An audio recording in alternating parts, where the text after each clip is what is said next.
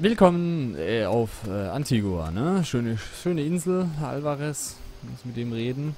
Ich habe mich etwas an ihm hinten vorbeigeschlichen. Ich eigentlich noch auf den Friedhof gehen wollte, um die modrigen Knochen für Emma abzuholen. Da rollen irgendwelche Eier rum. Das soll ein Friedhof sein. Ich habe Friedhöfe gesehen, die waren viermal so groß. Und dort lagen mindestens vier Personen pro Grabstein im Grab. Das hier ist doch Platzverschwendung. So. Das ging nämlich schnell. Äh, dann hätten wir das nämlich auch abgeschlossen und das finde ich immer gut, solche Sachen abzuschließen. Weil sonst vergisst man sowas auch gern mal wieder. Und dann muss man später wieder zurücklaufen und ihr wisst das dann. Backtracking und so. Das dauert dann alles so lang. Deswegen lieber so schnell wie möglich alles in einer Reihenfolge durch war.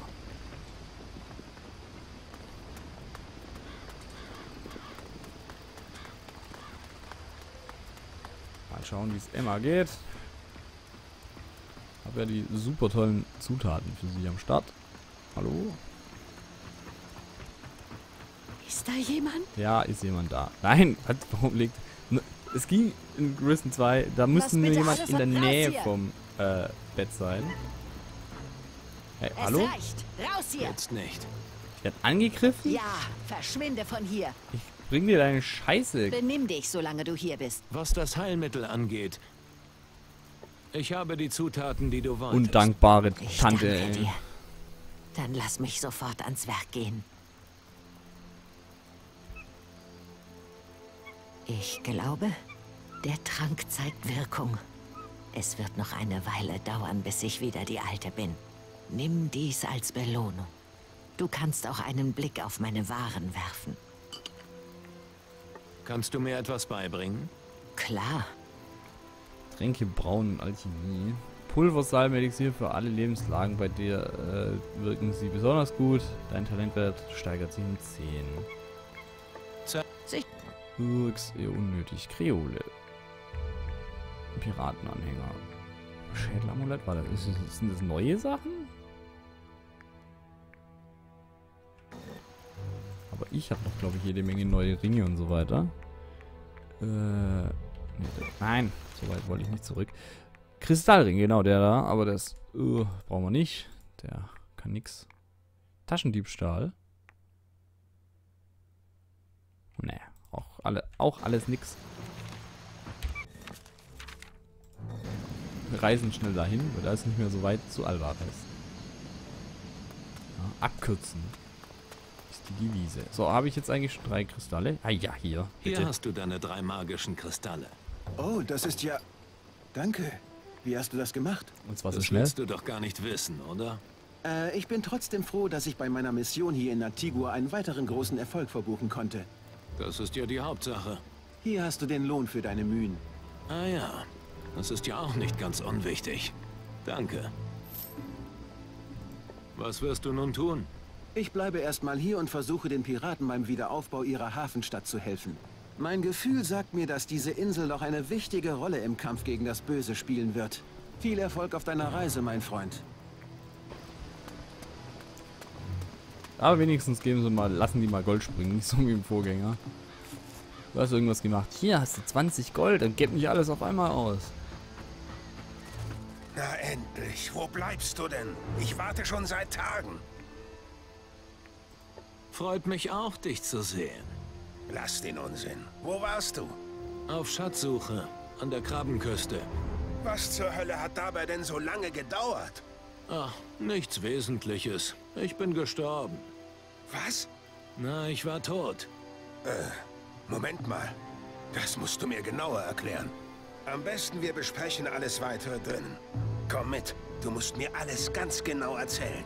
Eine Höhle aus Fels? Nicht Fels. Sie kommt aus den Untiefen der Erde, getrieben von der Macht des Schattenreichs. Am Ende der Höhle stand ein Portal aus reinstem Kristall. Die Schattenwesen benutzen diese Portale, um auf die andere Seite zu gelangen. Durch sie erhalten sie ihre Befehle vom Herrn der Unterwelt. Die Höllenhunde. Nicht nur die. Aus den Portalen entsteigen noch weitaus schlimmere Kreaturen. Leider ist das nicht das einzige Problem, das wir haben. Schon seit Wochen legt kein einziges Schiff mehr in unserem Hafen an. Es ist fast so, als ob wir völlig von der Außenwelt abgeschnitten wurden. Wir sahen eine Flotte von Geisterschiffen nicht weit von hier kreuzen. Was sagst du da? Geisterschiffe? Es ist Crow. Er ist zurück aus dem Schattenreich. Ich habe es geahnt. Der alte Fluch wird uns alle einholen.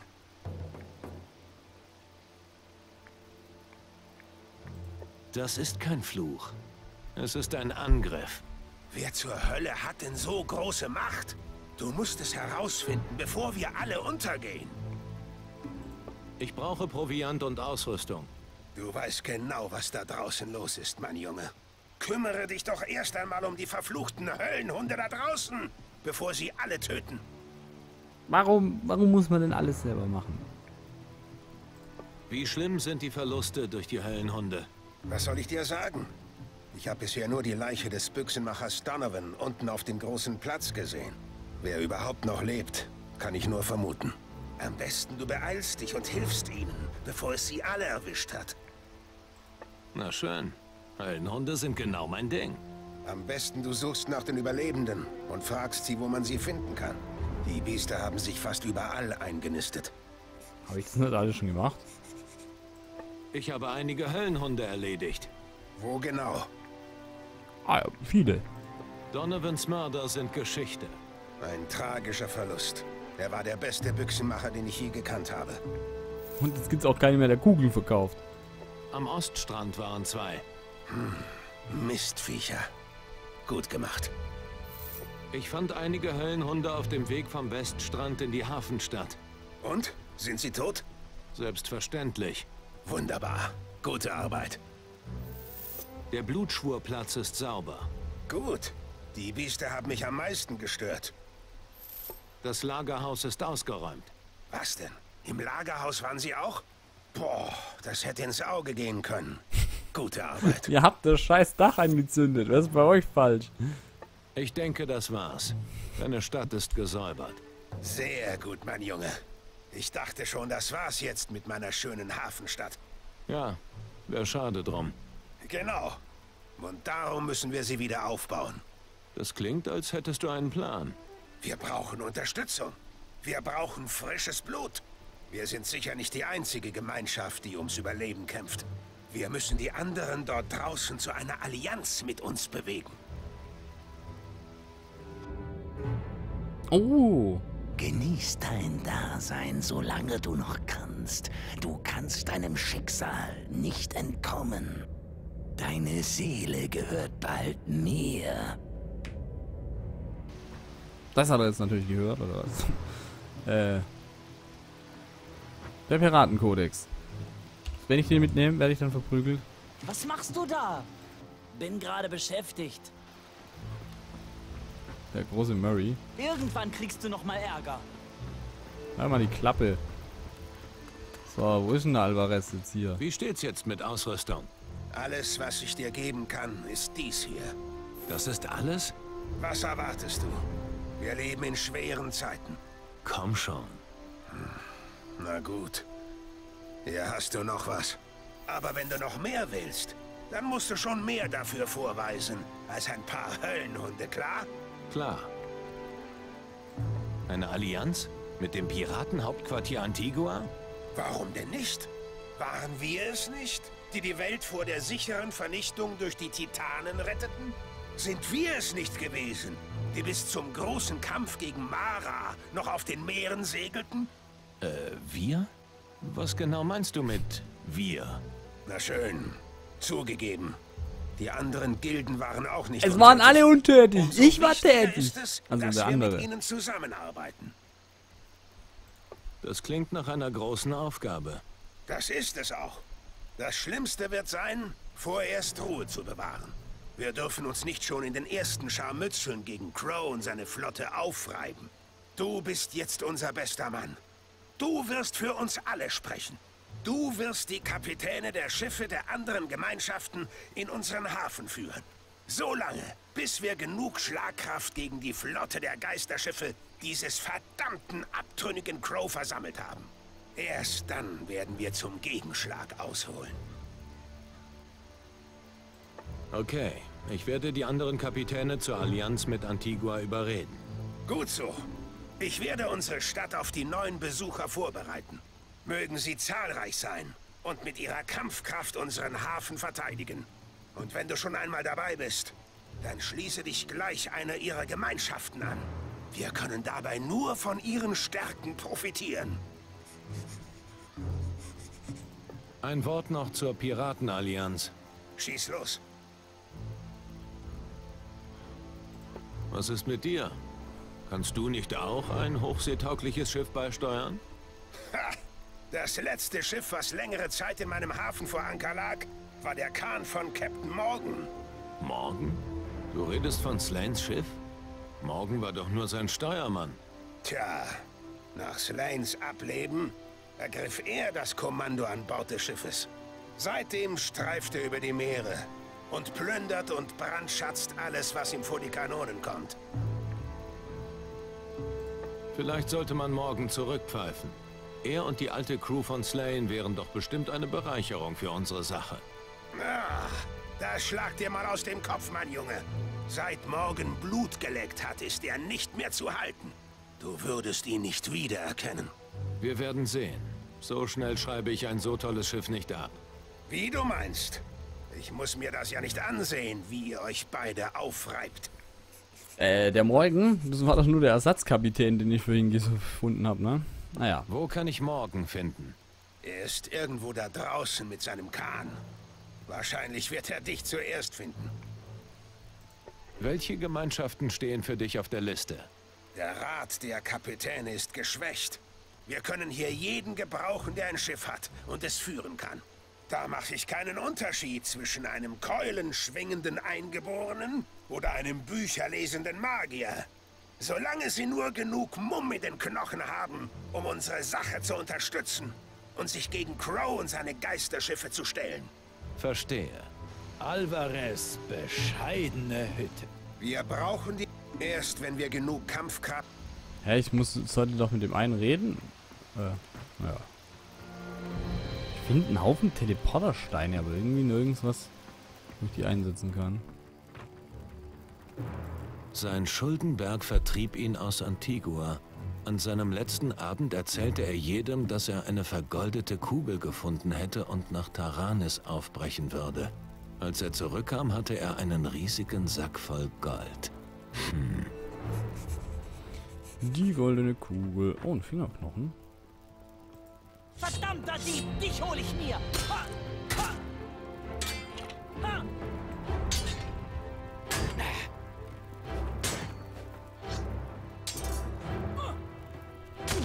Ich will gar nicht kämpfen.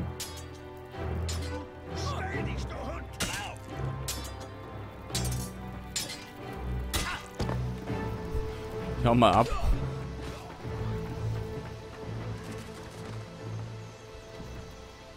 Gibt's eigentlich wieder sowas wie äh, äh, hier Witz erzählen? Wir brauchen die Unter... Erst wenn... War der, der Fingerknochen, war das zufälligerweise ein äh, Sammelstück? Ja, Fingerfertigkeit plus 4, 5. Sehr schön. Äh, gut, dass die äh, so schnell wieder alles vergessen. Kann ich die Voodoo-Puppe mitnehmen? Ja, wenigstens das ging. Wenigstens das. So, wo ist jetzt hier die äh, Scarlet?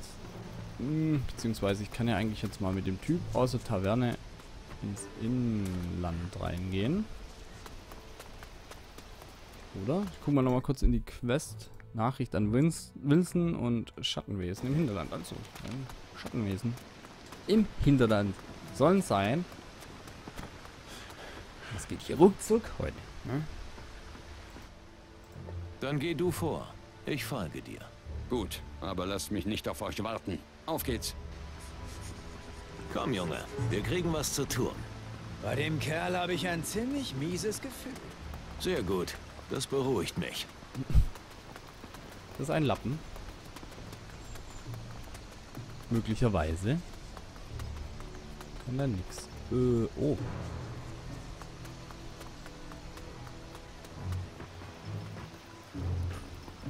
Armbrust. Ist der Finger mal nicht lang genug?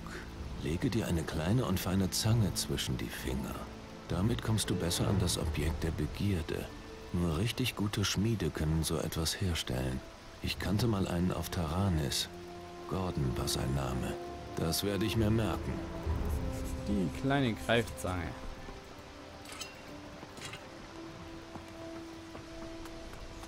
Sorry, ich war kurz abgelenkt von einer, äh, von einer Türe. voran. Der hat einen Knüppel. Finde ich gut. Ui. Ich denke, ab hier wird es gefährlich. Da vorne sitzt doch ein Typ.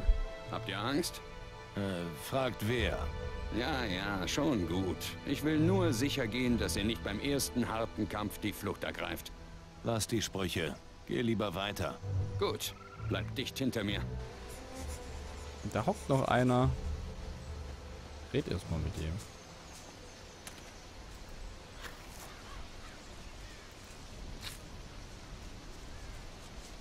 So, wer bist du? Dieser Flecken Erde hier gehört mir. Also glaub ja nicht, dass ich ihn hergebe. Das kannst du auch gerne deinen Freunden in der Hafenstadt sagen. Ich bin nicht hier, um dich zu verjagen. Nicht? Was machst du dann hier? Ich bin auf der Durchreise. Ja, genau wie ich. Nur mich will ja niemand hier haben. Sei es drum. Warum denn? Für Typen wie mich gibt es hier einfach keine Zukunft. Warum bist du nicht in der Hafenstadt? Ich bin ja schon dort gewesen. Hab sogar diesem alten Fettwanz Spencer meine letzten Goldstücke in den Rachen geschmissen. Aber kaum willst du mal ein paar Flaschen rum anschreiben lassen, wirst du vor die Tür gesetzt. Ein Scheißleben, sag ich dir. Da drin, da über, die, die haben keine Leute mehr am Start, aber wenn einer mal einen zu viel gesoffen hat, der wird direkt rausgeschmissen. Es gibt Schlimmeres. Du hast leicht reden, deine Taschen strotzen sicher voll Gold. Aber wenn du nichts auf der hohen Kante hast, ist es ziemlich schwer, über die Runden zu kommen. Hätte ich wenigstens mein altes Zeug, dann könnte ich einen Neuanfang wagen. Was ist mit deinem Zeug? Naja, einen Teil habe ich versetzt, um an Gold zu kommen. Was bleibt einem sonst auch übrig, wenn dir die Kohle fehlt? Und der Rest ist in den Händen dieser Halsabschneider. Ich muss es irgendwie zurückkriegen. Wem hast du deinen Krempel überlassen? An die Fressen erinnere ich mich noch genau. Warte mal. Meine guten Klamotten habe ich für ein paar Goldstücke beim Lagermeister Flynn versetzt. Der hat das Zeug sicher gut verschnürt im Lagerhaus rumliegen. Und der Wirt Spencer trägt meinen Goldbeutel am Hosenbund. Aber ich will verdammt sein, wenn er ihn behält. Der Beutel war ein Geschenk meiner Mutter. Außerdem hat einer seiner Schläger mir meinen Degen abgenommen. Das gute Stück verrostet jetzt sicher in irgendeiner staubigen Ecke. Den habe ich Ich sehe mich nach deinem Zeug mal um. Was? Wirklich? Warum würdest du das tun? Weil du sonst als Futter endest. Futter? Ja, halbe Hemden wie dich verspeisen diese Höllenhunde zum Frühstück. Verdammt! Dann, dann beeil dich bloß! B bring mir mein Zeug und ich schau mal, was ich abdrücken kann. Deal? Deal. Sehr schön. Sorry, So, ich musste lass gerade uns noch mit reden. Und eine Geisterblume einsammeln. Blümchen sammeln. Lass uns weitergehen. Warum, warum nebelt's hier eigentlich so? Noch so ein Schattenbiest. Das ist halt auch so ein Schattenwüste. Das ich bis jetzt noch nie welche gesehen.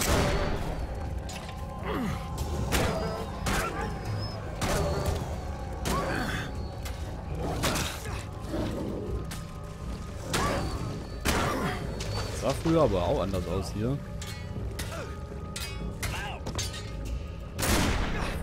Teil 2.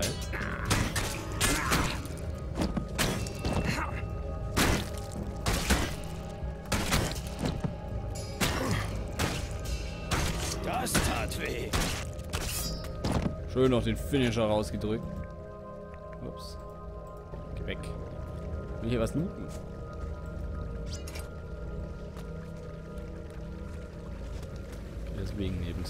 Äh, hier so in der Schattenwelt müssen müssen. Ich finde. So, das kann schon so schwierig. Oh, ich war es falsch.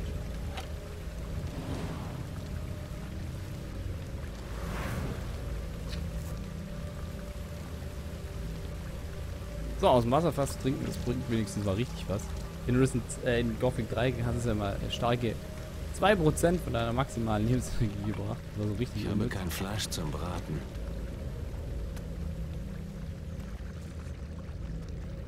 So. Aber da ging es doch nie so steil den Berg hoch. Hm, hier wird es langsam ungemütlich. Ja, das ist nicht mehr das Antigua, das ich kenne. Jemand hat hier ganze Arbeit geleistet. Die Schatten. Das schwarze Land breitet sich immer weiter aus. Kommt, das sehen wir uns genauer an. Folgt mir.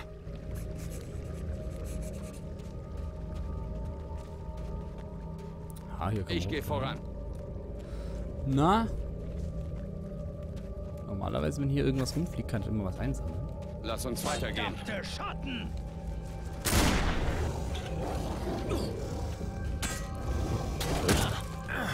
Ich habe sogar den anvisiert, aber irgendwie ist den anderen geschlagen. Okay. Sind zu viele hier.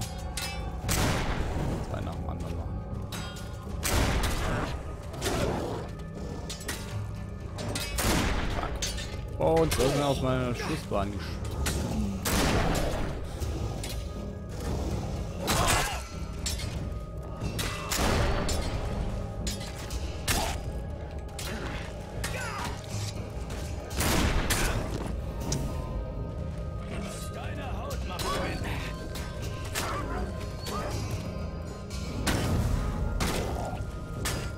Ah, das war die Druckwelle, wo ich vorhin habe.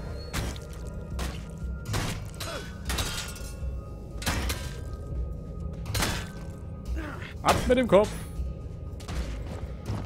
Lol. Knappe Sache. Schön auf den Berg runtergeschmissen. Okay, irgendwie liegt er auf dem äh, auf der unsichtbaren Mauer.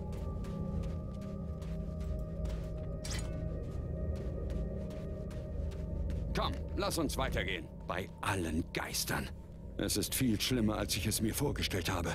Und das ist erst der Anfang. Die dämonischen Krieger sind erledigt. Du hast recht. Die Insel wird in der Tat von einer größeren Bedrohung heimgesucht. Ich hab's doch gewusst. Das schwarze Land scheint ganz allmählich die ganze Insel zu verschlingen.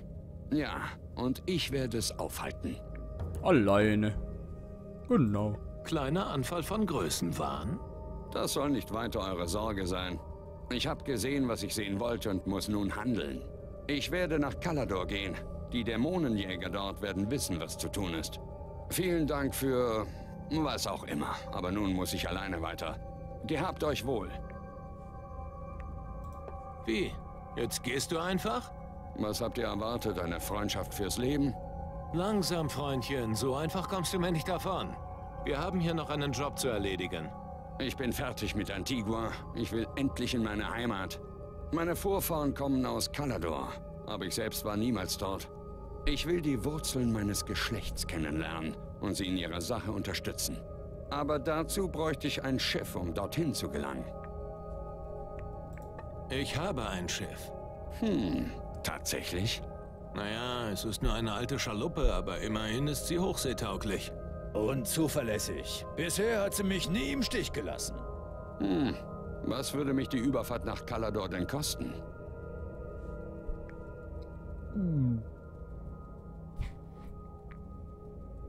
Ach, die 100 Gold brauche ich nicht. Nichts, wenn du mir hier und da mal aushilfst.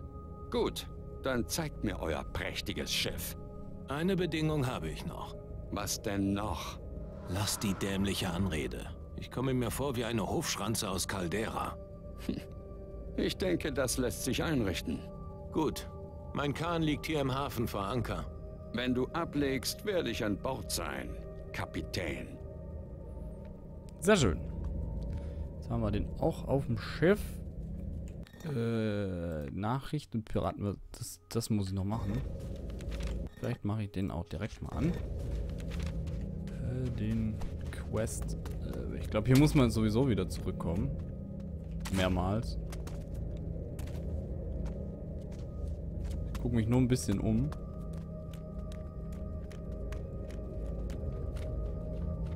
Hallo? Lauf, bleibt einfach stehen. Boah, die Kiste. läuft einem einfach hinterher. So wie bei äh, Dark Souls. Quasi ein Imposter. Jetzt schlage ich ein.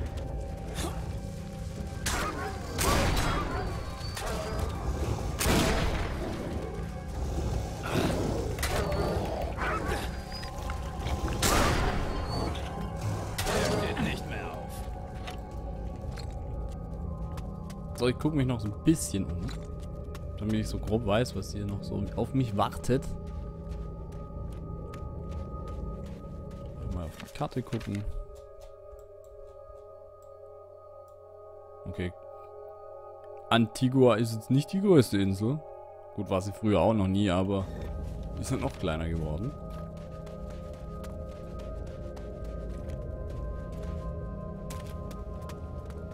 Hier kann man überall nirgends mehr hin. Oh, oh, oh, oh. Nein, nein, nein, nicht da runterfallen.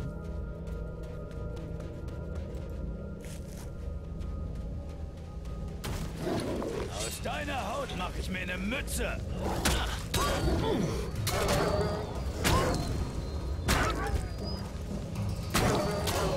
Das tat weh. Also mir nicht.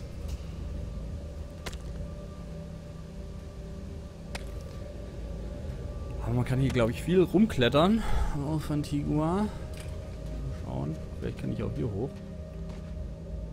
Ja, Tatsache. Aber ich glaube, das bringt nie so viel.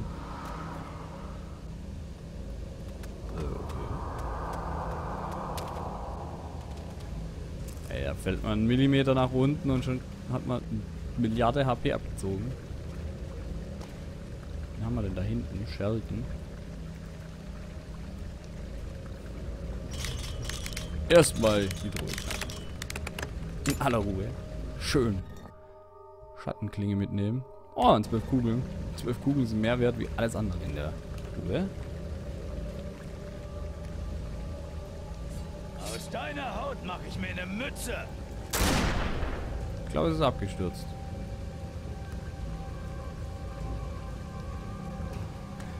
Will mir das Spiel damit was sagen? Naja. Wir sehen es gleich.